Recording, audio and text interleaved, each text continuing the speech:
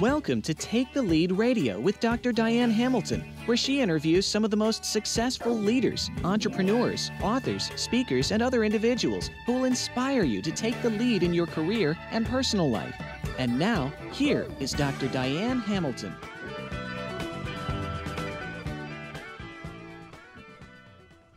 Welcome to Take the Lead Radio. This is Dr. Diane Hamilton, and I'm so glad you joined us today because we have Heather Hansen here.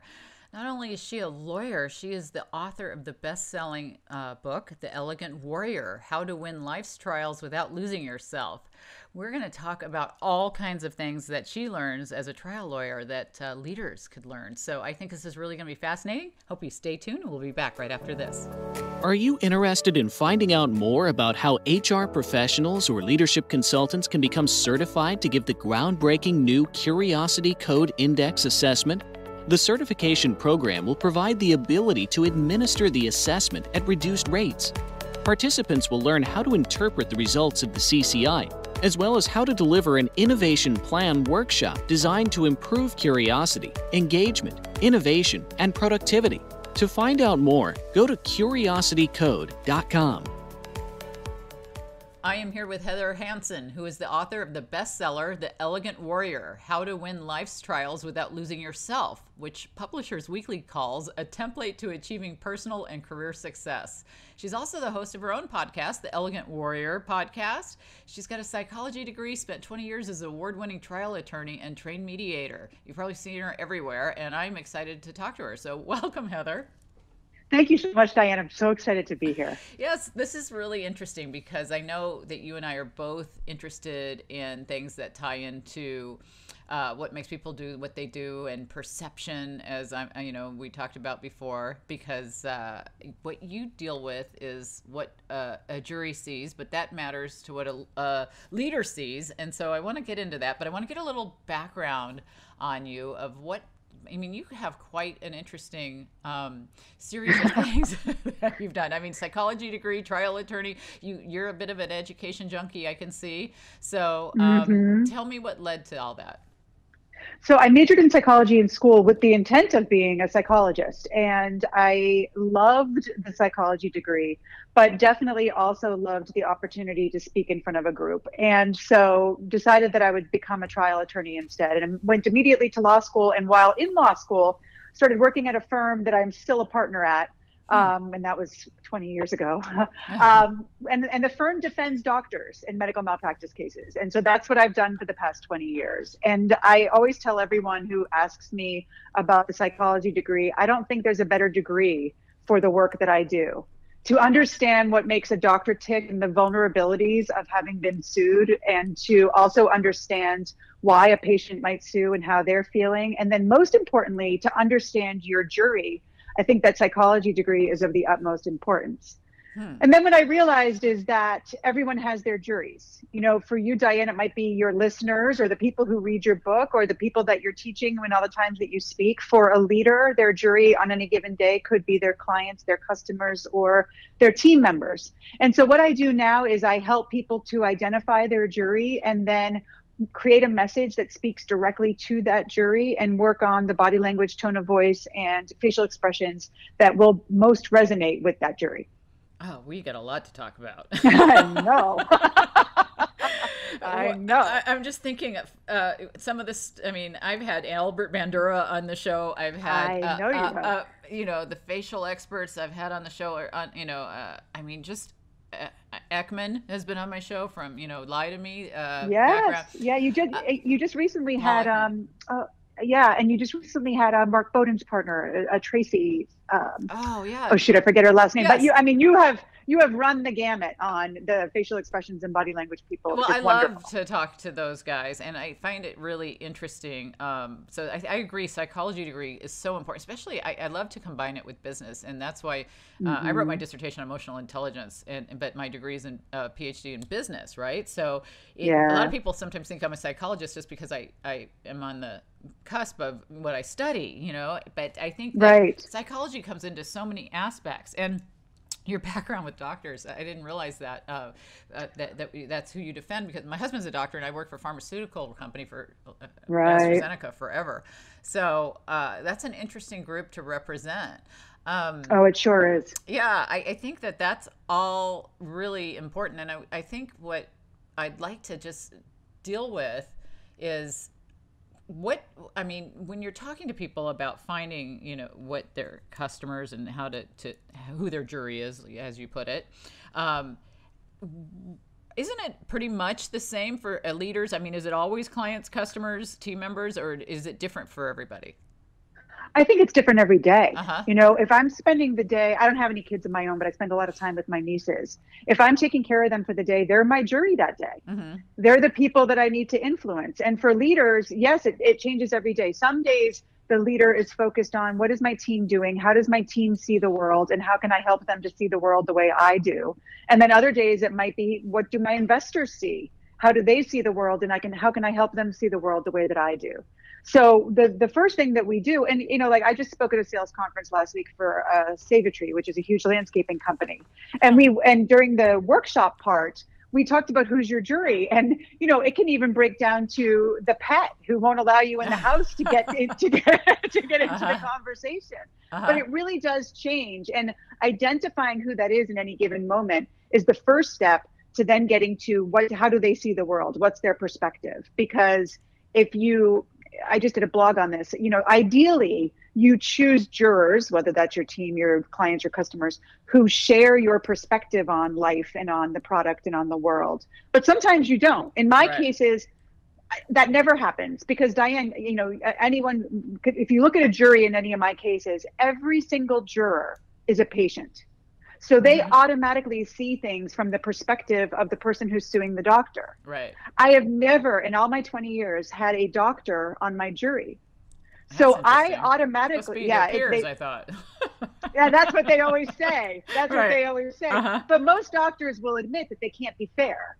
And so as a result of that, they get they get struck from the jury. They say, you know, it would be very hard for me not to take this personally and to to put my own sympathies for the doctor aside but patients you know they have similar perspectives. And mm-hmm. so i think that you can either choose your jury and that's ideal and that's wonderful or you can convert them and help them to see things through your perspective. And i think for the leaders that are listening that's your job.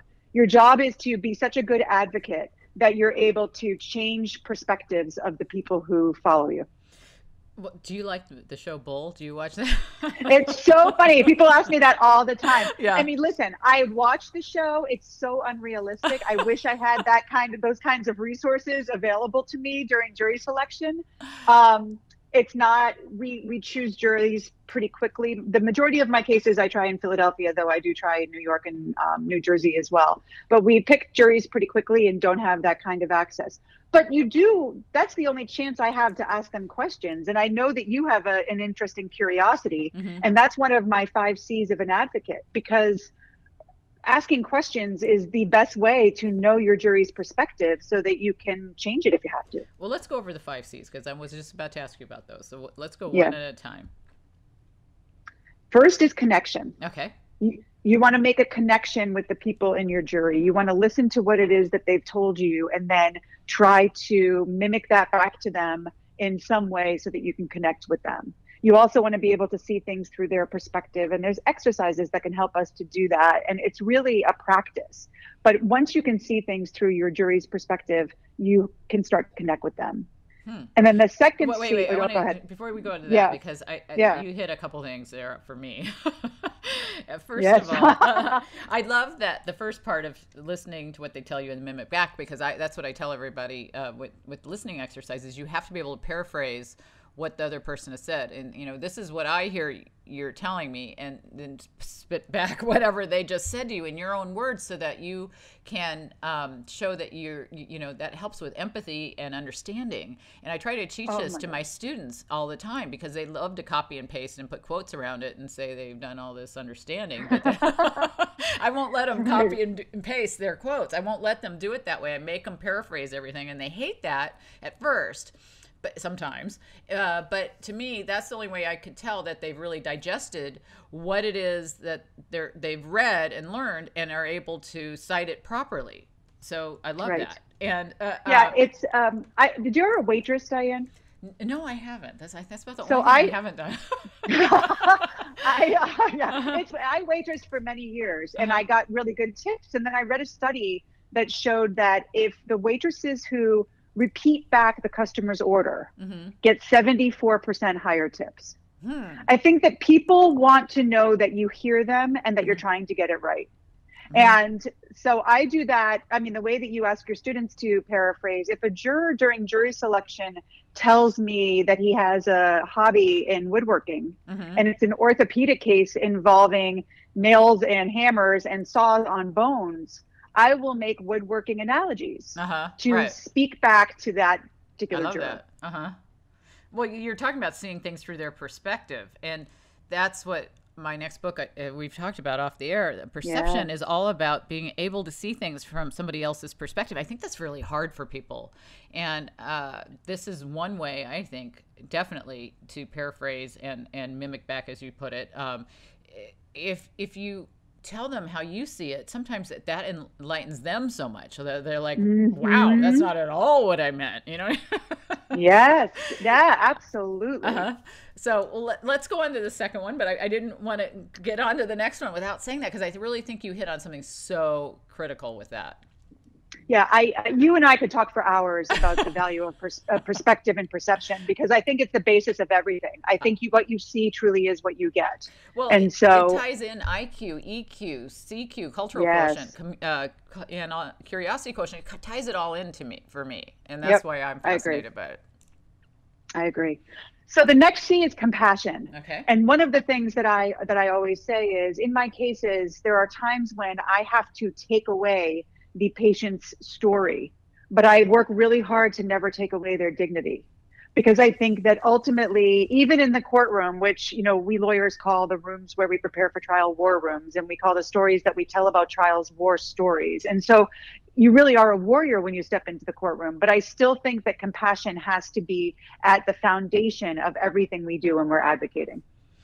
Well, you know, it's so funny because I, I, I, to fall asleep at night, sometimes I can't really um, shut my brain off. So Yeah. I turn on an episode of The Practice. I don't know if you've ever. Oh, I loved the practice. I was on when I was in law school, and I loved It's it. the best. And there's an episode where um, the main uh, guy is uh, yeah, the Dylan lawyer. McDermott, Bobby, Bobby. Bobby. Bobby's arguing Yep. with a, a nurse, and uh, he's saying um, he he he just is so argumentative, and he's she said something about you know we don't kill everybody who's in pain. You know, if the guy with the kidney stone Mm. is is um, crying about the pain, should I kill him? Because and his his argument was, are you equating uh, cancer with a kidney stone? He just totally berates her on the stand, and you can do that with people. You can you know you can take their point that's maybe a really valid good point and slam them in a way to to make you look better and Yep. win what you're trying to win but you you you win the battle and lose the war right Well, that's right, and especially on my side. So in that in that situation, Bobby was cross-examining a healthcare professional, Mhm. and because the jurors are patients, it's a little bit easier for them to get angry at a healthcare professional. right On my side, the jurors are patients, so I am never going to attack the patient, Right. Because one It's of the the, jurors might see Yeah, themselves. uh-huh. That's absolutely right. Mhm. And I also believe, and I think this is a Wayne Dyer quote, but I'm not positive. I also believe that there's two ways to get the biggest building in town. One is to knock down everyone else's building, and the other is to build your own. And in my cases, I just work really hard on building my own case and supporting my client in the way that he or she advocates to the jury and work less hard. Not to say I don't love cross examination. In fact, it's my favorite part of the case, cross examining the other side's expert, Mhm. because that's less personal. But Right. no matter what, I'm approaching it with compassion first. are these experts always like with the sleazy as they make them seem, seem like you know Well, listen, both sides are paid, right? Uh-huh. So it's you know it's it's um. I, I, I actually just spoke about this in a keynote I gave last week because the if, if if the jury really likes the patient, the patient's probably going to win. If the jury really likes the doctor, the doctor's probably going to win. But when it's even, when the jury's sort of torn, Uh-huh. then it comes down to a battle of the experts. Mhm. And so it's um there's often a lot of great fodder for cross examination for those experts you know when they travel around the united states testifying you have their old testimony to use against them you know these cases are all about evidence and they leave a lot of evidence behind every time they step into a courtroom mm-hmm. so it's a lot of fun to cross examine experts some of them take their job very seriously and are very much sticklers for the truth but the majority um, on both sides mm-hmm. give attorneys plenty to play with yeah. Well, I, well, as you're talking about, it's hard to like certain ones on the stand. You know, it, I guess mm-hmm. I, I, mm-hmm. what comes to mind with doctors is always House. I loved House, and uh, you know, they, they, have these strong personalities. My husband's a plastic surgeon, so I imagine you oh, probably oh, wow. deal with a lot of plastic surgery type mm-hmm. of cases and mm-hmm. things like that. Uh, and he actually has a really great personality, but I've met a couple other plastic surgeons who maybe come across as that you know maybe prima donna seeming do you, yeah how do you that's got to be a hard thing to overcome uh, for the jury is going to automatically see a certain type of thing and just react i mean how how, how do you yeah. pass that do you have to take these guys aside now are you on the side that's uh, against the doctor or for, you're against the doctor right? i no i represent the doctor represent so, i represent the doctor. so doctors, you get the yeah. guy who comes in who's that type what what advice do you give him Oh my gosh. Well, there's so much there. First of all, the thing that I want to point out because people, listeners are often shocked by this, there's no correlation between negligence, which is a doctor making a true mistake, mm-hmm. and lawsuits. Mm-hmm. None. Yeah. Which is a problem because it means good doctors are, are getting, sued. sued, and yeah. bad doctors aren't getting sued. Mm-hmm. The correlation is in how well they communicate. Mm-hmm. So the, the arrogant doctors are more likely to get sued. So I actually deal with the bad communicators most often. Right. Um, that that said, just because they're a bad communicator doesn't mean they're arrogant. It often mm-hmm. means that they're more focused on the medicine or the surgery than they are on the relationship. What I encourage my doctors, and I talk about this in my book, The Elegant Warrior, is to, I never would ask them to fake it till they make it. Like, I would never ask a mm-hmm. doctor, mm-hmm. go up there and act all sweet and cuddly because jurors are smart. They read body language and tone of voice and energy, and they would hate that. Mm-hmm. But what I do encourage the doctors to do is what I call show it to you, grow it. Mm-hmm. So if I have a doctor that is um, sort of rough around the edges, mm-hmm. but extremely knowledgeable and has used that knowledge to uh, make the understanding of a particular area of medicine better in the world. I encourage him right at the beginning of my examination to start talking about that. Mm-hmm. Because as he shows or she shows something that they're comfortable with and that mm-hmm. they love and that they do for the good of mankind, truly, yeah. uh-huh. that, right? That grows and the jury starts to feed off of that because they see that that enthusiasm and the charisma and the love of the patient and the love of the medicine. And then the jury starts to feed that back to the doctor. So to answer your question, I really look for the thing inside each doctor that the jury can feed off of so that that can grow and they can make a connection. You know, as you're talking about this, it's bringing back all my years as a pharmaceutical rep. I'm thinking of the, the mm. low EQ doctors. The, the, a lot of doctors were pocket protector kids, you know, that got out of yes. the whole world of socialization and because they were in books, you know, and, and yeah. a lot of times they, they see themselves as always right. And that you could, I would think to be really easy to irritate on the stand because if you question their capabilities, do you have any of them yeah. that really lose it?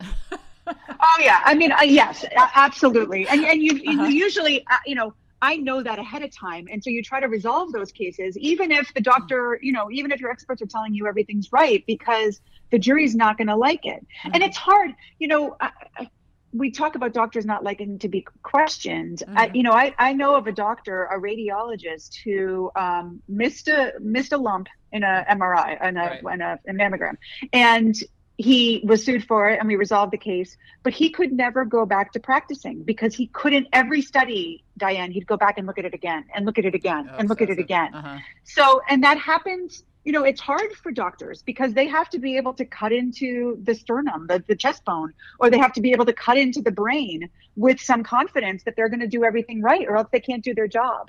So to be questioned is sometimes dangerous. It's a it's a um it's a difficult thing for doctors. Well, I wonder how many of them have OCD or on the spectrum or some kind of issue that makes them so great at what they do. I mean, you know, I mean, the house character, for example, I mean, he's definitely out there. Uh, and I think that they represent him that way because, I mean, I know it was a tie into Sherlock Holmes or whatever, but I, I think mm-hmm. it, it's trying to um, show you that this they are obsessed a bit, don't you think? Yeah, I think that in order to, especially those doctors who put, you know, 10 years of their lives into their training and are really super specialized, there's there is a level of obsession. And then also, you know, and I remind people of this all the time. If I make a mistake in my day, you know, my cases are often catastrophic. So a terrible mistake could be a multi-million dollar mistake. Mm-hmm. But if a doctor makes a mistake in their day, it could mean life and death. Right, right. And that is that is a huge weight on their shoulders. And anyone who thinks that it isn't is wrong. You know, lawyers are called counselor for a reason. And my psychology degree comes in great help to me in dealing with doctors who are, you know, wondering whether a mistake that they made could have cost someone their life. That's that's not something that these doctors take lightly. No, they don't. And it's it's something that they, they look at very um, logically. You know, I, have found mm-hmm. when I've talked to them, and it's it, you know they they try to keep themselves distance fr- from it and look at it from the outside, but it can be hard when you're yeah. involved in it and. Uh, egos get bruised, I'm sure, in, when, when, they have to go to court about it. But uh, let's go to the third C because I'm interested to see what's what else. So you're gonna. The next C is creativity. Ah. Um, and that is you know there's so many ways that i use creativity in the courtroom and so many ways that your leaders can use creativities with their juries. One of the ways that i talk about in some of my keynotes that i use creativity is um, female trial attorneys are less than 5% of trial attorneys.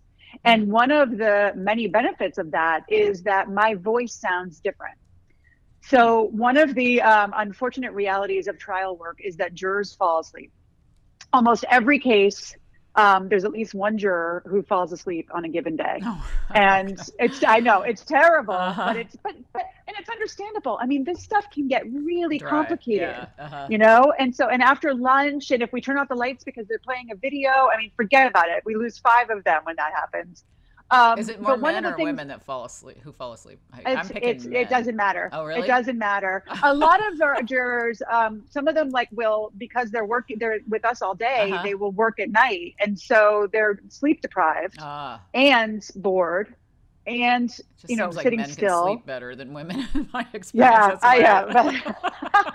no, it's uh, it, it's it, it really varies. Ah. But I can tell you across the board when I speak, they wake up, even if it's just for a minute, because my voice sounds different. You know, it's so funny. So I have, before you, you, you when yeah. I listen to the Bobby uh, trial thing, anytime I fall asleep mm-hmm. listening to that, it's always this yep. one woman uh, uh, that wakes me up, uh, who, who, wakes me up, uh, her voice. Uh, when I'm trying yep. to fall asleep to it, there's yep. just one woman, and it's weird that you say that. Well, that's probably off putting, but for me, it's because my voice sounds different.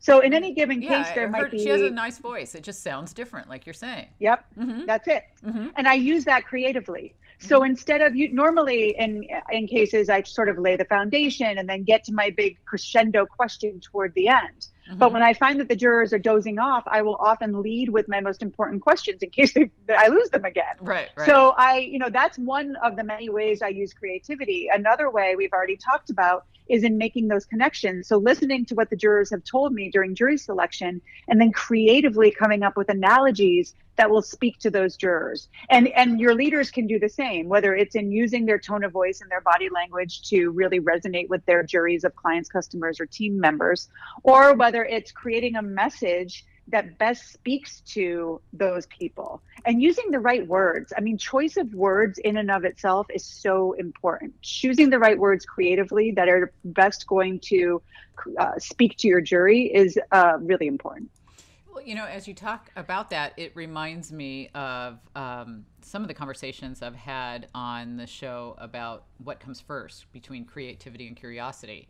And mm-hmm. all the creativity experts all tell me curiosity comes first in, you know in terms of you have to ask the questions to learn how, how the answers to to develop the innovation and the ideas and the creative um, solutions. So it's a, a lot of that creativity is sparked by thinking why why this? Why not this? How can i? And you know and as you're talking about the um, changing your tone and different things that you do. It, it reminded me of a teacher i had in, in grade school and actually I, I dedicated my last book to him. He was the most amazing algebra teacher i ever had.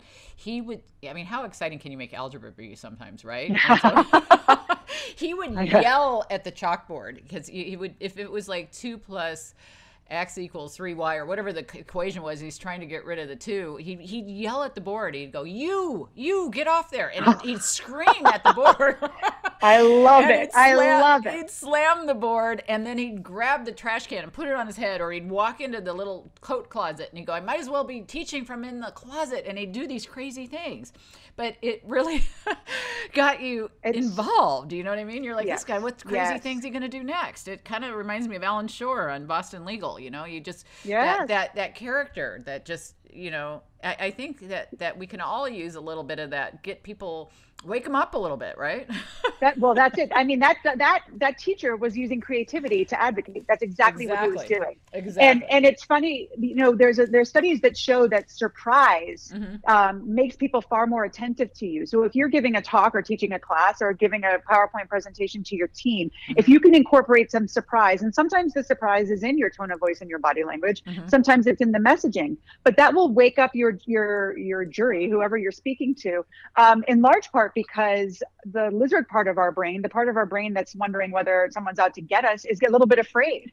And so that's what that teacher was doing with you for sure. Uh, I mean, yelling and putting his putting his basket on his head. He was doing it exactly right. You know, using creativity to keep you guys on your toes. What uh, the funniest thing is, this guy's a total introvert. If he wasn't on fr- in front of the class, mm-hmm. he was just a normal, yep. everyday kind of guy that he sat there and drank strained carrot juice the rest of the day. As oh, a nice, God. You know I mean? He was like, yeah. And then he'd get Typical on stage in front of people yep. and he would just come alive. And I'm telling you, I'm yeah. great at algebra because of that guy. Uh, I, I, was, yeah, that's, you know, and probably led to that's amazing. Yeah, what I've done. that's an life. amazing teacher. I love to hear that. I mean, I, I talk to a lot to teachers about how they can use these tools to advocate for, you know, to their to their students because it's uh it makes such a huge difference in a kid's life. Yeah, it, it does. I wish he were still alive that he knew uh, how what the impact. He made it into his 90s. He was just an amazing teacher, and I think everything you're talking about is is so important. And I think creativity is huge. And I think in the business world, to get people to be more creative, we got to ask questions. What what could I do to to uh, uh you're asking, you know, well, what what can I do to my voice? What can I do to get attention? What it, basically you're asking questions to get to that level of creativity. I love that. So let's go to number. Well, you're four. feeding you're feeding right into number four, which is curiosity. ah. But it's funny that yes, of course. But it's funny that you say that you think curiosity comes first. When I I have an infographic on this that I use in my workshops in my in my work, and the infographic is they're all equal in a circle yeah. because they feed each other. You know, so mm-hmm. there's for me, it's not one before the other. They all work together. But curiosity is everything to a trial attorney. You know, I many many people have said to me, "Oh, I should have been a trial attorney. I'm really good at arguing." But the truth of the matter is, I only argue Diane for a very short time at the end of the case during closing arguments. Uh-huh. The rest of the trial, all I do is ask questions. Yeah, I ask yeah. the questions uh-huh. of my clients your to build our background. That you should, that's you, that's right. Our hours almost up, that's, kind of thing.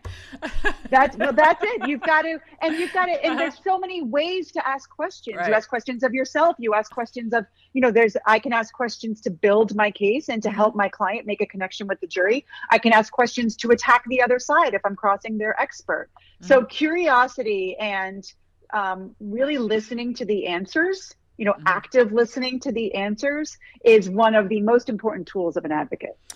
And, and making people feel comfortable to answer answer the questions. You know what I mean? I think that's part of what I deal with with the oh, curiosity training. What's that? I thought I, I, thought you went out for a second. Go ahead. Oh no, I think it's part of um, you know really making people feel comfortable uh, with supplying those answers. Just because we ask mm. questions doesn't mean that that, that person's going to want to answer us. And I think, you know, in the research I found, the majority of leaders felt like they inspired curiosity, but less mm. than half of employees really believed that they did. So yeah. they, they, may think that they're asking questions and allowing people to answer questions in, in and uh, in a comfortable way.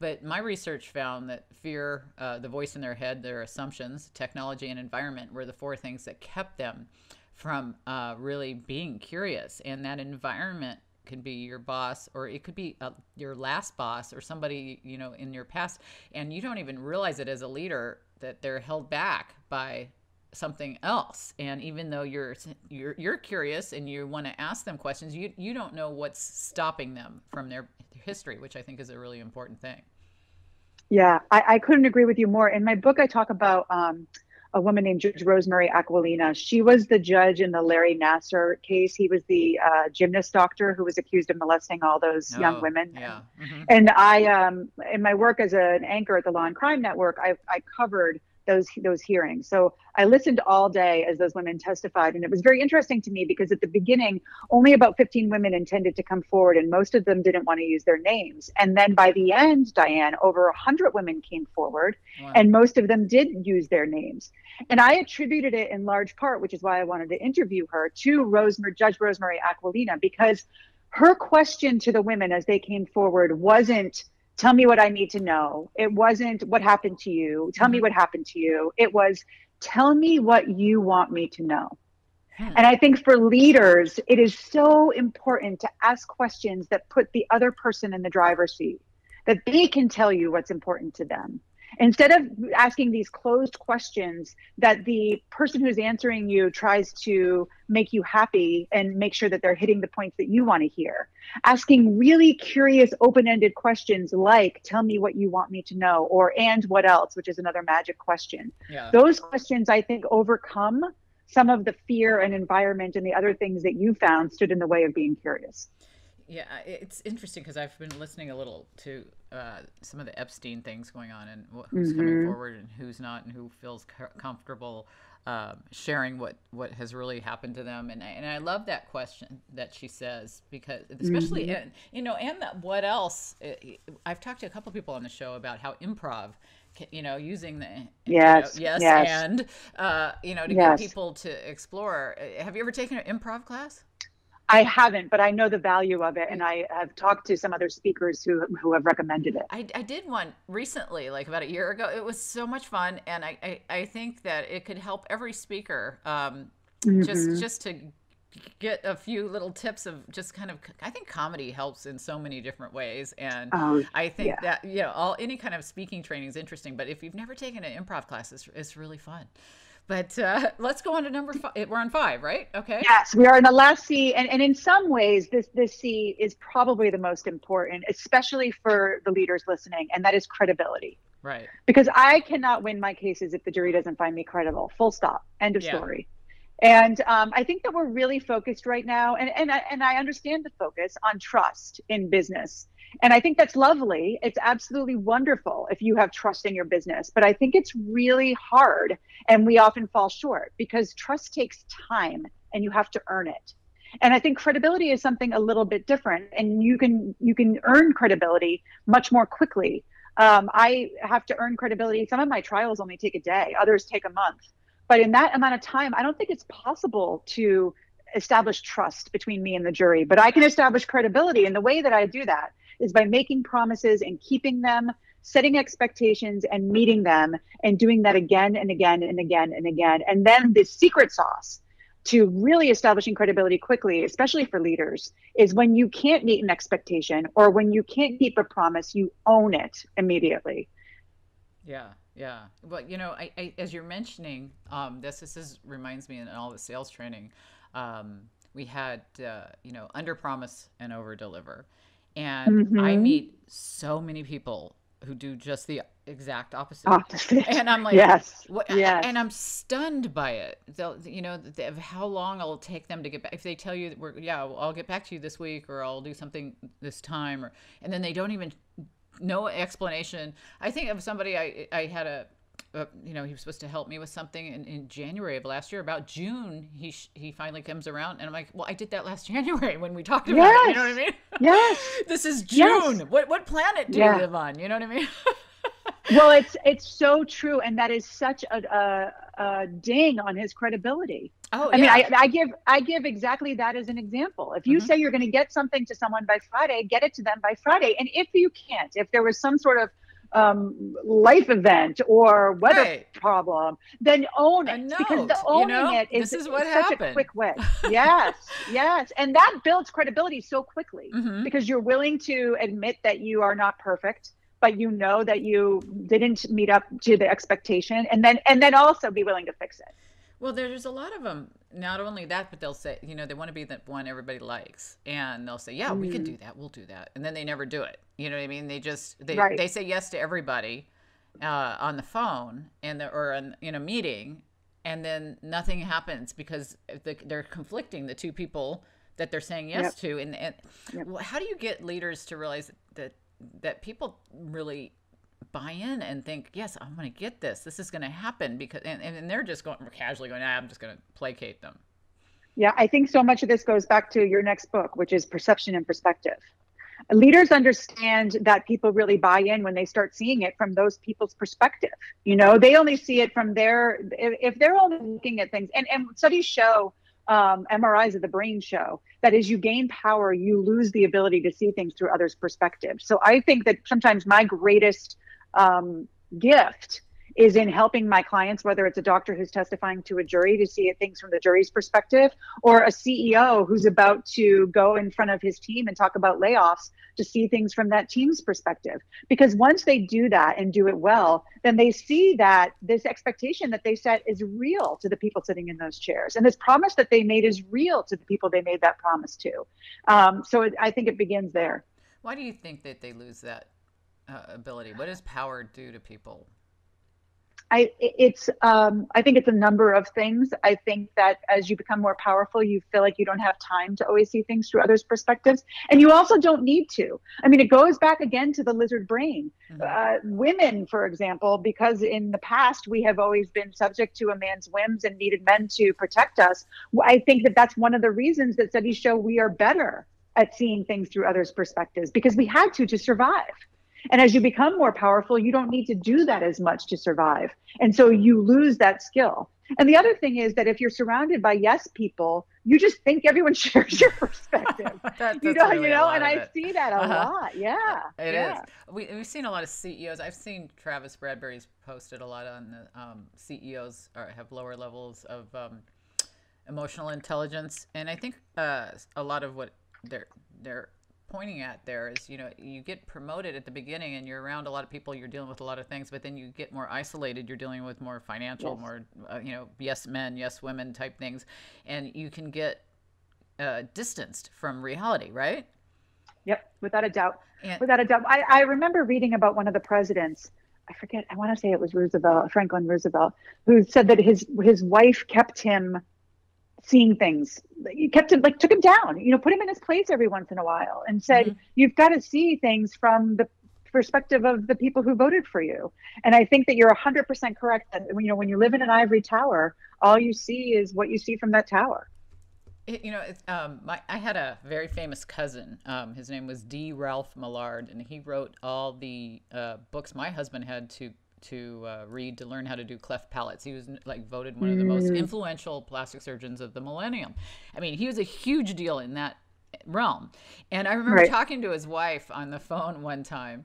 Uh, at, he was in his 80s at, at, that time, and we were going to a society dedicated to him. This, that's how important this guy was, right? Yeah. And yeah. and I'm like, well, do, do you know if Uncle Ralph? I had to call him Uncle, even though he was my cousin because he was older. Uh, but uh, I said, mm-hmm. do you mm. know if Uncle Ralph is, you know, whatever he's going to be there? And she goes, oh, that idiot.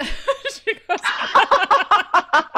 He can't find his, you know, whatever. And she goes, who knows where he is? And she was so funny because she was super smart too. But she just, you know, right. she brought, talk about bringing him down to earth. Uh, I just, I'll never forget. It was so funny because she's, you know, as smart as he was, he, she took him and put him back in his place. Yeah, well, just to see, show him that he's an equal and that we all have our areas where we shine. And, you know, as much as he is famous for his knowledge and his expertise and his skill and his technique, I'm sure his wife was much better at, you know, arranging, bringing up their kids yeah, yeah, or yeah, an organization. I mean, we all have our things. And I think that when you start to think that your thing is the only thing, that's very dangerous to these five C's and your leadership skills. That's so funny. I always tease my husband. I go, I'm going to start saying that about you if you don't show you know, because, he, you better he just toe the line. Yeah, yeah, yeah.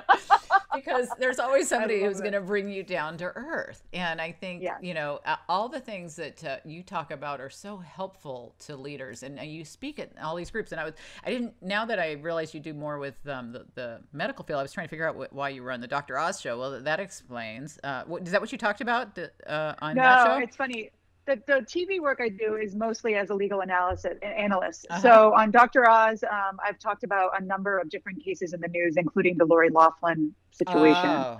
Um, but not he he's now handling he's not doing a, quite a bit of criminal stuff on his show and same thing with the stuff i do on msnbc and cnn and fox news it's usually just the legal story of the day though on those occasions where it's a medical malpractice case i just i enjoy it because i do think that um, it's it's an important thing. You know, we all go to the doctor, uh-huh. and to uh-huh. have a better understanding of that relationship and how important it is that we advocate for ourselves as patients. If I can add to that discussion, I love the chance to do it. Well, what do you think of that, Lori Loughlin? I'm curious what you said. You know, they had a, a, yeah. bull episode recently that was kind of a play on that. Um, that whole thing. Uh, they had mm. a guy mm. on trial for his father bribing uh, the school, yeah. but his father's dead, and now they're suing him because he shouldn't have been in the school in the first place. Which is I thought was an oh, interesting. Oh, yeah, see, that's crazy. that would never happen. Yeah. Oh, that makes me so nuts. But um, it's it's so nuts because you know jurors watch those shows and then they're mm-hmm. influenced by it. But anyway, I'll bet. Um, I I think that I it's funny because you know she keeps she she and her husband and, and it's both of them right they keep um, rejecting the opportunity to enter a plea mm-hmm. and every time they do and I'm asked to talk about it on TV I say I don't know I mean it is you know I would hope that their legal advisors are advising them to con- take the plea Mm-hmm. But you can't make a client do, you know, if they feel very strongly about the principle behind their case, I have had more than one client try a dangerous case and come to regret it mm-hmm. on principle. Mm-hmm. And that might be what's going on here. I think that they feel very strongly that this is the way things were done and they didn't consider it a, it a bribe. Mm-hmm. And I think that's going to be part of their defense. The other thing, and this is just me speculating, so anyone mm-hmm. listening, don't go.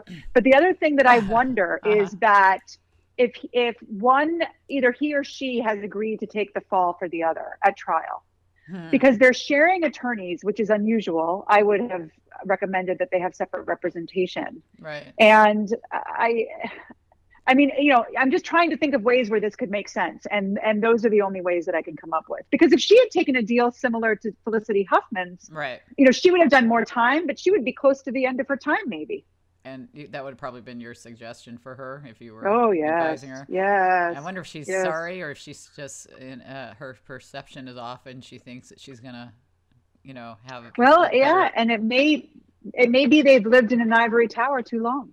Huh.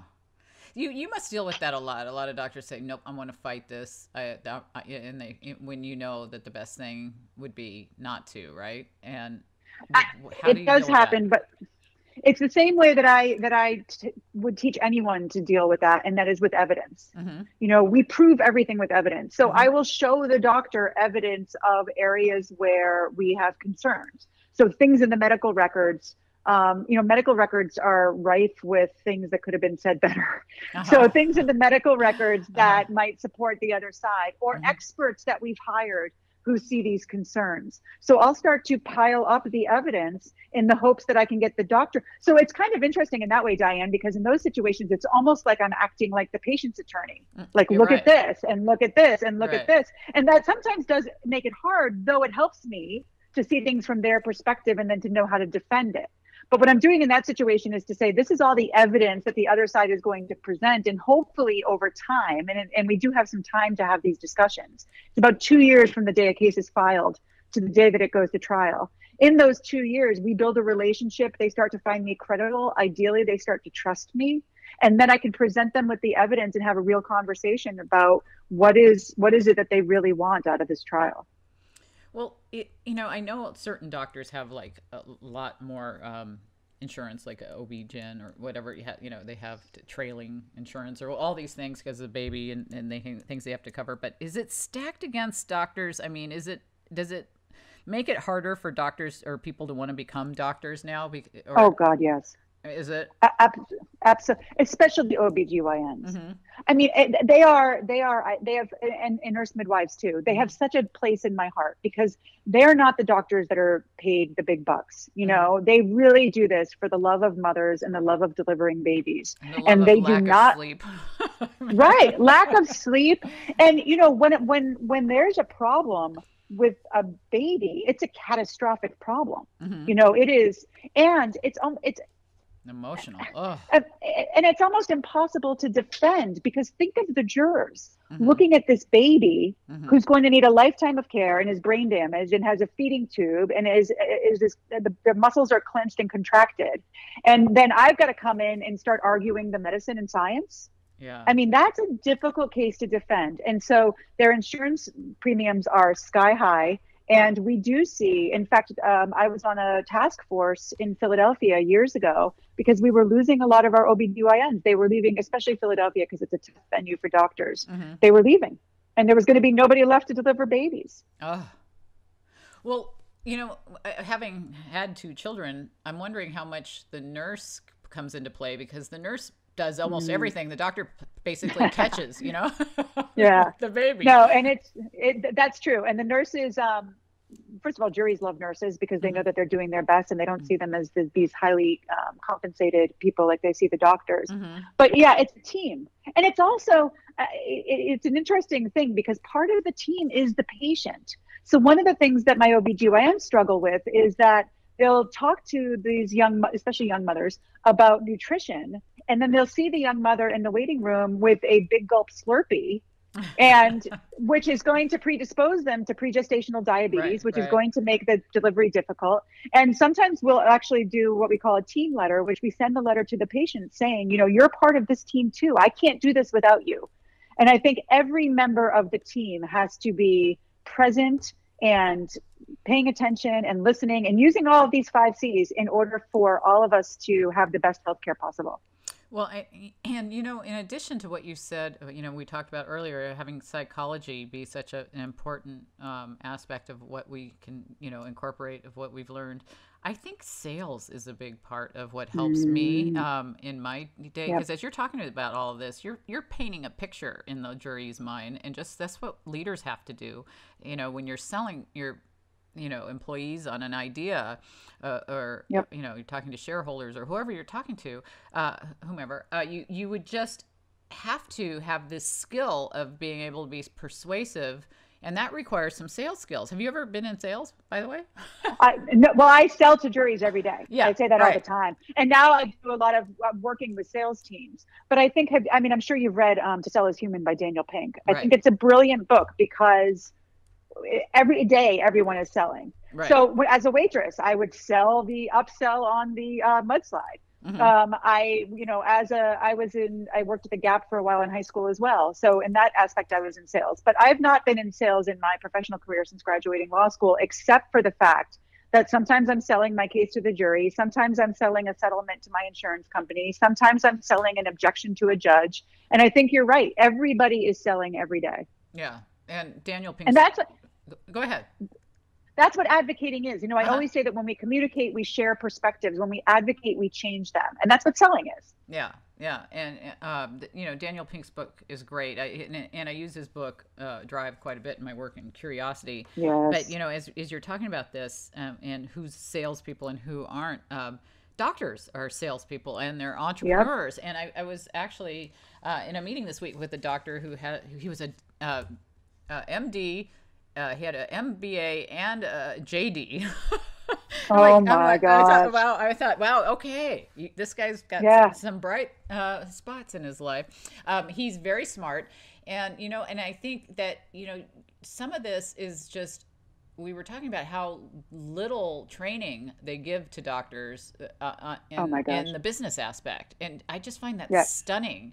Uh, and, and, a lot of these guys are taken in by their um, office managers, and they lose so much money. And but you know, uh, uh, as uh, the, the, patient aspect, though, you don't really look at a doctor as a business, though, either. You know, right? So right. you must deal with a lot of that in terms of perception of how people how they're viewed. If, is it a business? Are you know are, are you customers? Does that come up at all? It comes up a lot of times. Patients' attorneys will try to use that uh, to drive some emotion against the doctor. Mm-hmm. So saying like, you know, oh, how much did you make for this procedure? Mm-hmm. Especially in those cases where they say that the procedure was unnecessary. Right. So sometimes they sue saying they'll say, well, how much did you make for this procedure? And they try to make it all about the money. But what they don't understand is exactly what you just said. That doctors don't tend to be good business people, and they don't always know even how much they make. You know, someone else is usually handling that part of the practice. But yes, I mean, I do think that doctors are selling and most of the time it's more like selling you trying to get the patient to be compliant. Right. So like take mm-hmm. this medication right. follow this diet. You know you're selling that medication. You're selling that diet. Right. but i definitely see where patients attorneys will turn that around and try to make everything about the dollar. And if they're successful that drives anger against the doctor which then drives verdict numbers high. Well you know and a lot of that patients see that you know how much did they make and i heard that a lot when i worked for pharmaceutical sales you know oh mm-hmm. look how mm-hmm. much this pill costs but they don't look at the uh, how many years of r&d expenses and how much overhead and how much training did it ca- take to get there that i had to pay for and, and there's so much that shapes and how how much time do you have to even paint that picture when you're a lawyer probably not a lot oh, right? none none none none and it's and at some point the judge will say it's irrelevant you know, if I start going into, um, you know, the, all the costs that it takes to deliver a baby, you know, the, and the jurors, I mean, remember, we'll go back to the point that jurors fall asleep. Yeah. Their eyes will start to glaze over and they're like, honey, why are you talking about this right now? You know, and uh-huh. especially uh-huh. when we get to my case, because I go second, you know, the patient's attorney goes first because uh-huh. they have the burden of proof. Uh-huh. So by the time they get to me, I really need to get in and get out. I need to have done a lot of my work on cross examination and make my points as quickly and concisely and clearly as I can to um, sway the jury to my side. Well, I assume most settle without going to trial, but if they go to trial, how, how long are these trials? I'm just curious. It, it depends. I've had cases that have been one day. That's mm-hmm. the exception. Mm-hmm. I'd say that the majority are at least a week, and I've had some cases as long as six weeks. Oh, you're kidding. Wow. Well, when you, especially when they're brain damaged baby cases, oh, Diane, yeah. you've got not only the defendant doctor and the expert against them, but also a pediatric neurologist, a pediatric um, uh, radiologist, all kinds of people, a life care planner. And, and again, these poor jurors, I mean, it's uh, one of the things I work with my clients now on is on overcoming the curse of knowledge and talking to people on the level that they can understand. And that's something I work a lot on in the courtroom as well, because when we're hearing from pediatric neurologists or pediatric radiologists about what they see on these studies, it gets really complicated and really hard. And I have the utmost respect for my jurors for powering through that. That's brutal, I'm sure.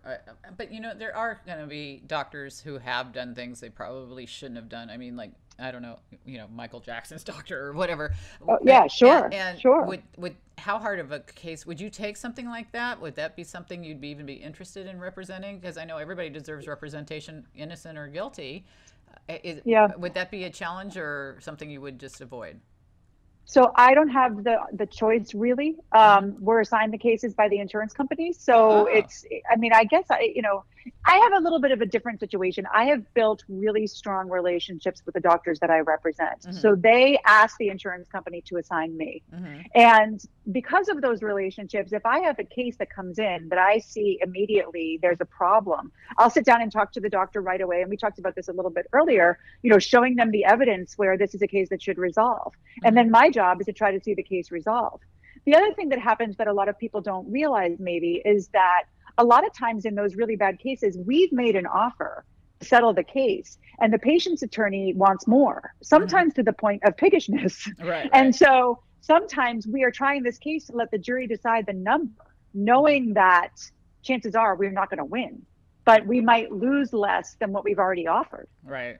Well, I'm, I'm, sure in a lot of cases now everybody's not all innocent or all guilty, and it's got to be a really fascinating thing you do. Um, and I love how you've taken what you've done and helped leaders, and uh, because I think we can learn so much from outside of our own industry from, from people who have different experiences. I, have been listening to the book Range on audiobook, um, and that was a yep. that was a great one um, in terms of you know how we can be you know just better from just the variety of experiences and outlooks and perceptions that we we utilize. So I think a lot of people are probably fascinated to get your book, The Elegant Warrior, and to find out more about you. How, is there some kind of a link or something you can share? Yes.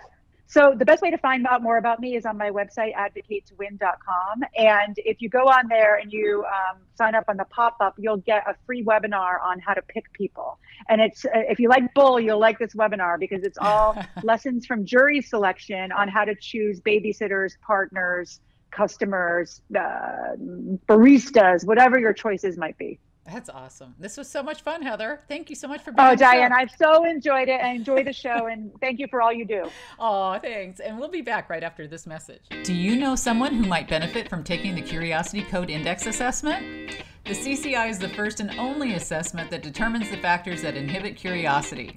It's simple. If you recommend the assessment to someone else, you can receive 20% of the purchase price that they pay when they take the CCI through the link provided by you. To obtain the link and become an affiliate, please go to drdianehamilton.com forward slash affiliate. Well, I'd really like to thank Heather for being my guest today. What a fascinating discussion, and she and I would be able to continue that for hours because we have so much that we like in common. It would have been so much fun. But I, I, know we ran out of time, but I really want to make sure if you've missed any past episodes, you can catch them at drdianehamilton.com.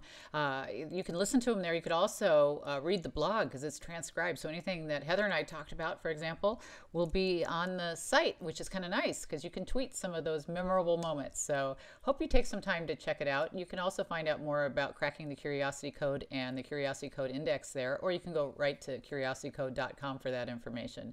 But I hope you enjoyed today's episode, and I hope you join us for the next episode of Take the Lead Radio.